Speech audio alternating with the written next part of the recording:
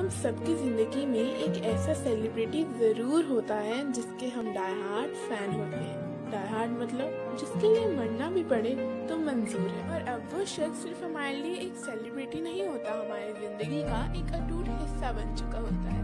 मेरी सुबह उसी के नाम से होती है और शाम उसी के नाम से ढलती है। और उसकी अटेंशन पाने के लिए न जाने हम कितने जजन करते हैं। फ़ैन पेज बनाते हैं मैसेजेस करते हैं। और अगर गलती से उसने हमारा कोई कमेंट लाइक कर दिया या फिर रिप्लाई कर दिया तो हमारा सिर्फ़ दिन नहीं, पूरा साल बन जाता है।